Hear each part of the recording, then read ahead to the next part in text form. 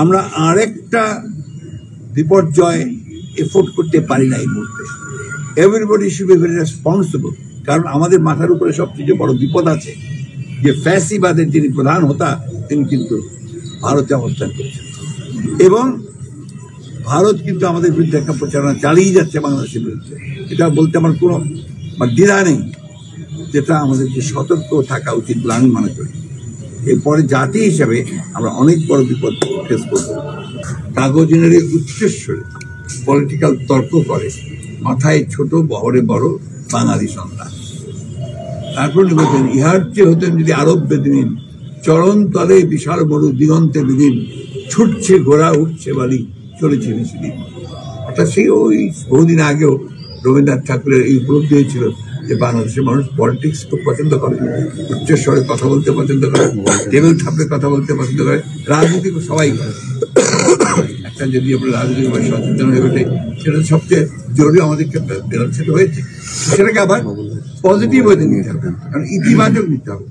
এই এত বড় একটা অভ্যুত্থানের পরে আমরা যদি একটু ধৈর্য ধরে না ধরি, তাহলে তো হবে না।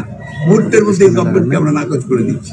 দুর্ভাগ্যক্রমে আমাদের এক একজন এক একটা কথা বলছেন, কেউ বিপ্লবের কথা বলছেন, কেউ আপনার নির্বাচনের কথা বলছেন, কেউ আপনার বলছেন যে এরা সমস্ত ওই ফ্যাসিস্টদের দোষর দালাল, এই যাকে যেভাবে পাচ্ছে করছে।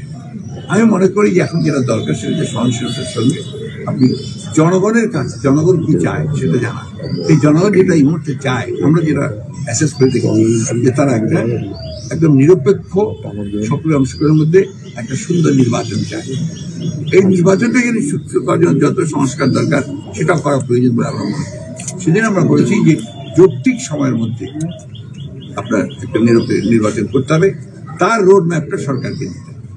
অন্যদিকে, গতকাল আমি কথা বলছি যে এখন অর্থনীতির দিকটা ওই সরকারকে দেখতে হবে। দ্যাট রিয়ালিটি আপনি যে কথা বলছেন আমি এসেই খোঁজ দিয়েছি এখানে চালের দাম কত, আলুর দাম কত, সবজির দাম কত, পেঁয়াজের দাম কত, মরিচের দাম কত। অনেক বেড়ে গেছে। এখনই আমাকে আমার বাসায় আমাদের দিদি আছেন, কাজ করেন এখানে আমাদের সঙ্গে। উনি বলেন যে চালের দাম ছিল ষাট টাকা, এখন হয়ে গেছে সত্তর টাকা। এটা তো আমাদের সাধারণ মানুষের জন্য কষ্টকর। আমার মনে হয় যে সরকারের এই দিকটাতে বেশি গুরুত্ব দেওয়া উচিত। How to bring down the prices এই কথাটা কালচার সব সব সময় পলিটিক্স করলে তো হবে না। কাউকে কাউকে অর্থনৈতিক কাজটা করতে হবে সেই দিকটা একটা দেওয়া উচিত বলে মনে করি। এবং আমি আশা করি সরকারের মধ্যে আপনার অত্যন্ত যোগ্য মানুষেরা আছেন। আমাদের প্রধান উপদেষ্টাই সবচেয়ে যোগ্য মানুষ। তারা এই ইকোনমিটাকে একটু স্টিমলাইন করার জন্য দামগুলো কমিয়ে নিয়ে আসার জন্য যা যা পদক্ষেপ নেওয়া দরকার সেই পদক্ষেপগুলো তারা নেবেন এটি আমি আশা করি। স্যার কেমন আছে? জি ভালো। এই যে প্রেক্ষাপটটা তৈরি হলো বৈষম্য বিরোধী আন্দোলন দিয়ে তৈরি হলো সেটা ছাত্র সমাজ করেছিল। তো এখন দেখা যাচ্ছে যে উপদেষ্টা মন্ডলী টোটালি চট্টগ্রাম ও ঢাকা কেন্দ্রিক হয়ে গেছে। উত্তরের কোনো প্রতিনিধি আমরা পেলাম না। ছাত্ররা এখন এটা নিয়ে আন্দোলনও করছে। এই বিষয়ে আপনার বক্তব্য এই বিষয়ে মন্তব্য করতে চাই না। কারণ কি বিষয়গুলো আমাদের না, এটা আপনার অন্তর্বর্তীকালীন সরকারের প্রধান উপদেষ্টার একটি আট উনি ওনার মেধা, বুদ্ধি, বিচক্ষণতা দিয়ে সেটা বিবেচনা করবেন। যদি কোনো আপনার সমস্যা থাকে সেটা সমাধান করবেন। আর যদি দেখেন যে কোথাও কোনো আপনার অসামঞ্জস্য হচ্ছে বৈষম্য হচ্ছে সেটাও তিনি দূর করবেন। আমি এটা তার উপরে ন্যস্ত করতে চাই। স্যার উপদেষ্টা নিয়ে নানা রকম কথা হচ্ছে সমালোচনা হচ্ছে। এই বিষয়গুলো রাজনৈতিক দলগুলোর সাথে কথা বলে উপদেষ্টা নির্ধারণ করছে কিনা এটি রাজনৈতিক দলগুলোর সঙ্গে কথা বলে উপদেষ্টা নিয়োগ করার বিধান নাই। বলে বিধান বলব না এটা আপনার প্রচলন নাই। এটা প্রধান উপদেষ্টার নিজস্ব এখতিয়ার, সেই তার কাজের সুবিধার জন্য যাকে যাকে নেওয়া দরকার তাকে দেখ, দুই নম্বর হচ্ছে যে আমি কালকেও যেটা বলেছি আর কি এই ব্যাপারে সরকারের খুব সতর্ক ভূমিকা পালন করা উচিত। যাদেরকে তিনি নেবেন, যাদেরকে নেবেন, তারা যেন বিতর্কিত না হয়। এই বিষয়টা তাদের লক্ষ্য করা উচিত, তাদের নিজেদের স্বার্থে। আমরা খুব পরিষ্কার করে বলেছি এই সরকারকে সফল করার দায়িত্ব আমাদের। কারণ আমরা এই আন্দোলনের অংশীদার, আমরা এই আন্দোলন করেছি। আমরা চাই না যে এরা ব্যর্থ হলে সেই আন্দোলন ব্যর্থ যেন না হয়ে যায়। এবং যারা শত্রু বাংলাদেশের যারা গণতন্ত্রের শত্রু তারা যেন আমার কোনো সুযোগ না পায় সেখানে তারা একটা এই সরকারকে ব্যর্থ করে দিয়ে প্রধান যে উদ্দেশ্য দেশে গণতন্ত্রকে ফিরিয়ে আনা সেটাকে আপনার ব্যর্থ। উপদেষ্টার মধ্যে আওয়ামী লীগের প্রেতাত্মারা আছে কিনা এটা কিন্তু প্রশ্ন উঠছে বারবার। আমি এটা বলতে পারব না ভাই। স্যার দ্রব্যমূল্য সহ বিভিন্ন বিষয়ে যে আওয়ামী লীগ আমলে গড়ে ওঠা সিন্ডিকেটগুলো সেগুলো এখনও চলমান আছে বলে স্যার মানে বিভিন্ন রকম অনেকে বলছেন অনেকে বলছেন সেটা। এই বিষয়টা তো আপনার উল্লেখ করেছি। যারা দায়িত্বে আছেন তারা সেই দায়িত্বটা সুচারুরূপে পালন করবে বলে আমরা বিশ্বাস করি। বর্তমান আইন শৃঙ্খলা পরিস্থিতি নিয়ে আপনার মন্তব্য? অনেক ভালো। বর্তমান আইন শৃঙ্খলা পরিস্থিতি আপনার এই আওয়ামী সরকারের আমলের চাইতে অনেক ভালো এক নম্বর কারণ হচ্ছে কোনো পার্টিদের না। দুই নম্বর হচ্ছে যে একটা ভয়াবহ একটা ধ্বংসের মধ্য থেকে তা ওই সময় তুলে নিয়ে এসে যেখানে পুলিশ বাহিনী সম্পূর্ণ ফেল করেছিল, সেখান থেকে নিয়ে এসে আবার তারা একটা সিস্টেমে নিয়ে এসছে, আপনার ডিসিপ্লিনের মধ্যে নিয়ে এসছে, এটাই তাদের বিরাট সফল। এবং আমি বিশ্বাস করি যে তারা আরও সফল হবে।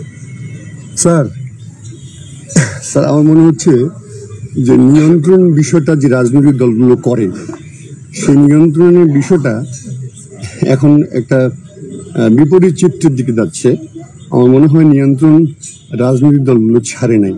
একটু বুঝিয়ে বলতে স্যার আমার মনে হয় যে থানায় আমরা গেছি অনেকবার অনেক কাজে। বলছে যে বিএনপি নেতাদের মাধ্যমে ফোন করেন। ফোন করেন। যদি কেউ বলে থাকে এটা তার অন্যায়।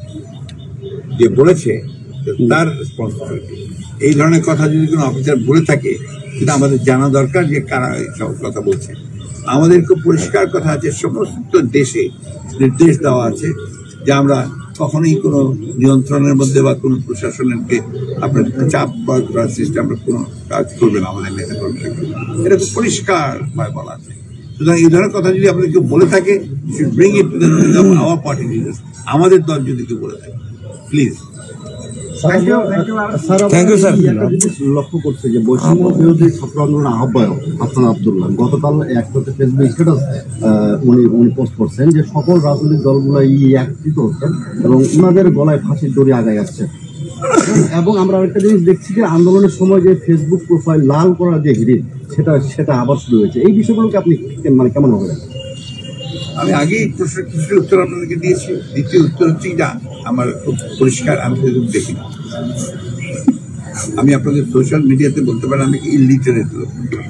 কারণ আমার কাছে মনে হচ্ছে যে দিস ইজ এ মিডিয়া যেখানে খুব ভালো কাজের সম্ভব, আবার যেখানে ভয়ঙ্কর কাজের সম্ভব। এবং এখন যে প্রবণতা শুরু হয়েছে, যে বাংলাদেশের এই যে অর্জন, সে অর্জনকে ধ্বংস করে দেওয়ার জন্য সুনির্দিষ্টভাবে কিছু ব্যক্তি বা কিছু লোক তারা চেষ্টা করছেন নাকি আপনার নাকচ করে দেওয়ার জন্য। এখানে আলটিমেটলি কিন্তু it's heading towards the disaster again আমি এই ব্যাপারটাতে সকলকে সচেতন হওয়ার আহ্বান জানাব। আমরা আরেকটা বিপর্যয় এফোর্ড করতে পারি না এই মুহূর্তে। Everybody should be very responsible কারণ আমাদের মাথার উপরে সবচেয়ে বড় বিপদ আছে। যে ফ্যাসিবাদের যিনি প্রধান হতা, তিনি কিন্তু ভারতে অবস্থান করছেন। এবং ভারত কিন্তু আমাদের বিরুদ্ধে একটা প্রচারণা চালিয়ে যাচ্ছে বাংলাদেশের বিরুদ্ধে। এটা বলতে আমার কোনো মানে দ্বিধা নেই যেটা আমাদেরকে সতর্ক থাকা উচিত বলে আমি মনে করি। এরপরে জাতি হিসাবে আমরা অনেক বড় বিপদ ফেস করব।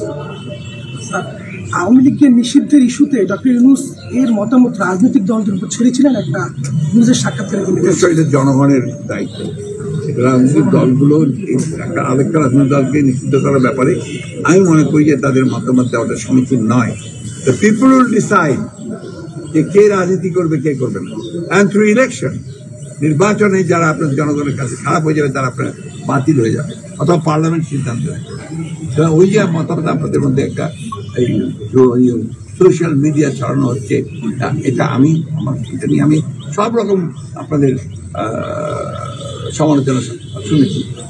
আমি বিশ্বাস করি গণতন্ত্রের একজন পুরো একজন গণতান্ত্রিক একটা ব্যক্তি আমি মনে করি যে যে কোনো রাজনৈতিক দল নিষিদ্ধ করার বিষয়টা এটা কোনো রাজনৈতিক দলের নয় এটা জনগণের দায়িত্ব। সেই জনদায়িত্ব হয় একটা নির্বাচনের মধ্যে দিয়ে থ্যাংক ইউ স্যার